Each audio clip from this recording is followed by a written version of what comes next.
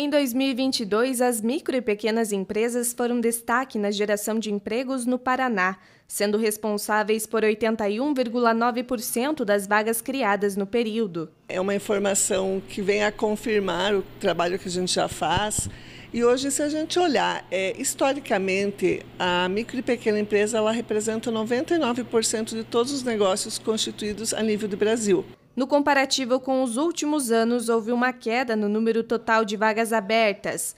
Porém, a participação dos pequenos negócios se manteve, sendo 83,2% em 2021 e 81,9% no ano passado.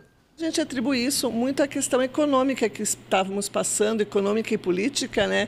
diante de algumas incertezas, diante de toda essa mudança que estava por vir. O nosso empresário ele acaba sendo um pouco cauteloso e aí deu essa pequena é, retração nas contratações. O setor paranaense com maior destaque foi o de serviços, responsável por 52.545 empregos.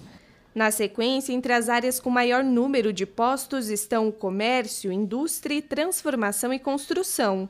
No Brasil, em 2022, os setores dos pequenos negócios que mais contrataram foram serviços, comércio e construção civil.